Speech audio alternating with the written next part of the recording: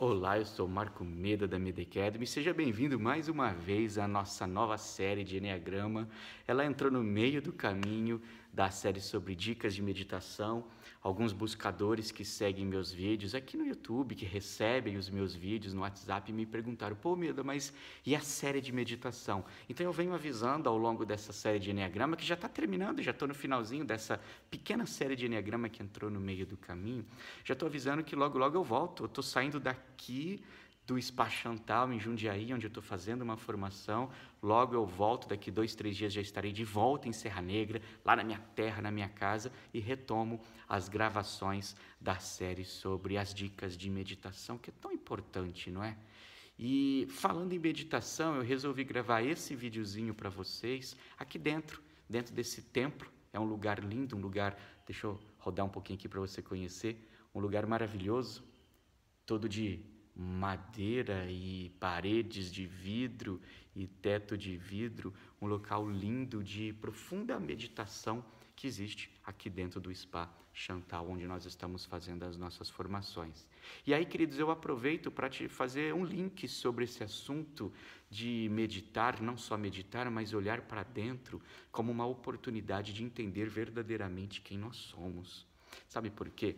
Quando você estuda o Enneagrama, existe uma tendência muito prática, existe uma tendência muito lógica, existe um vacilo, um erro em nível de consciência baixa de você se identificar com a sua falsa identidade.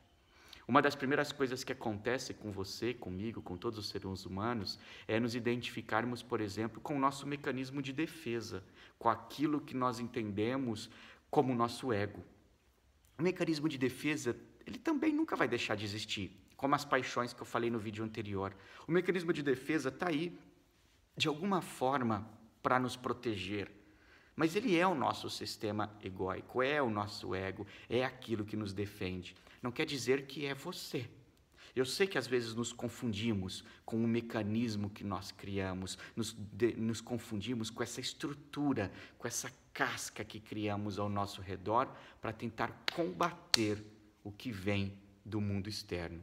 É o que vem do mundo externo, é o que as pessoas falam para você, é o que as pessoas fazem com você, é o que chega através do mundo externo até você, que faz com que ou você esteja muito bem preparado, em nível de consciência alta, e mantenha-se na sua missão, na sua essência, preparado no seu eneatipo de uma forma aberta, ou é nessa hora que você cai profundamente e desce e vai caindo dentro do primeiro choque de consciência do nível 3 para o nível 4, aonde você vai perdendo os centros de inteligência, dois centros de inteligência são desbalanceados, como eu falei em outros vídeos, ou no choque do sétimo nível, onde você vai caindo nas neuroses e aí vai partindo para as vias de fato de nervoso, de estresse, de xingamento, de dores horríveis e descontrole total dos três centros de inteligência. A cabeça foi para o saco, o coração foi para o saco e o corpo foi para o saco, tudo de alguma forma é perdido dentro desse sentido. É nesse momento que eu digo para você olhar para dentro, olhar para dentro de si.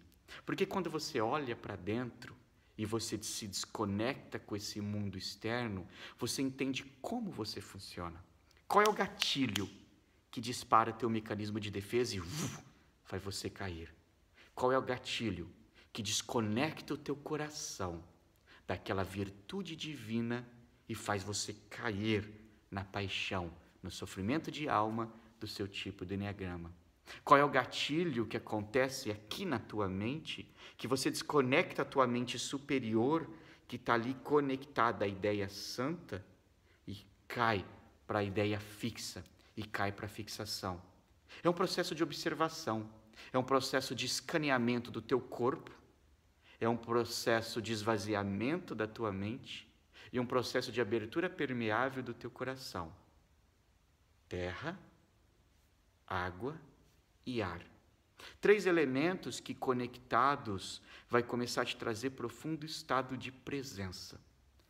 Nós caímos e mergulhamos no mecanismo de defesa do ego porque perdemos presença. Nós caímos nesse desse coração aberto, permeável da virtude para paixão porque perdemos presença. Nós nos desconectamos dessa ideia ampliada de Deus, de divino, de universo, de cosmos, a nossa ideia santa, e caímos na ideia fixa porque perdemos presença. A perda da presença te faz você viajar para o futuro, faz você viajar para o passado e você perde a conexão com aqui, com o agora, com o momento presente. E não há, não há forma melhor do que você estar presente, do que você fechar os seus olhos e mergulhar dentro de você. E a meditação é um dos primeiros caminhos para esse processo. É no momento em que você fecha seus olhos e acalma a tua mente. Uma mente calma, serena, que não fica presa e apegada a determinados padrões de pensamentos. É uma mente que observa de fora cada pensamento. Essa mente calma, ela vai trazendo o teu estado de presença e a tua energia para ir descendo lentamente para o teu coração. Teu coração começa a se acalmar, tuas batidas do teu coração e tua respiração muda, seu coração se abre, se torna mais fluido, mais água, mais permeável e se torna grande. Tão grande do tamanho do universo, tão permeável, capaz de receber amor, capaz de entregar amor, de doar amor, de ouvir o som, o doce sabor da compaixão. E o teu corpo? E o teu corpo vai se tornando tão presente, tão presente, que ao mesmo tempo em que você está conectado na ideia superior lá no alto, teu coração aberto, seus dois pés estão aterrados, profundos no chão. Não é imaginação, é aterrados mesmo. Em profundo estado de presença, capaz de você sentir a energia do centro da terra que sobe pelos seus dois pés. É nesse momento que, alinhados céu e terra, e você como o ponto, como o canal. O canal onde perpassa toda essa energia, conectados na terra, conectado no céu e o coração aberto. Três centros de inteligência totalmente balanceados, três centros de inteligência totalmente conectados ao universo, à totalidade, o sentimento, a ideia e o corpo. O corpo presente, coração aberto, e a ideia, a mente expandida. Procura um canto e faça essa prática de presença todos os dias. Preste atenção na sua respiração. Respire não só com as suas narinas, com a sua boca, mas respire com o seu corpo, respire com a sua barriga.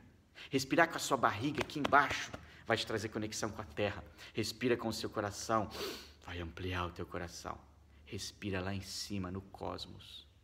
Portanto, a meditação é o primeiro caminho para te trazer estado de presença e de verdade conectar você com quem é você na sua melhor virtude, na sua grande ideia sagrada, na grande oportunidade possibilidade de você espiralar para cima, subindo níveis de consciência estando no nível de consciência muito mais alto, estando no nível de consciência muito mais aberto, muito mais preparado para viver toda a beleza que é o mundo aí fora.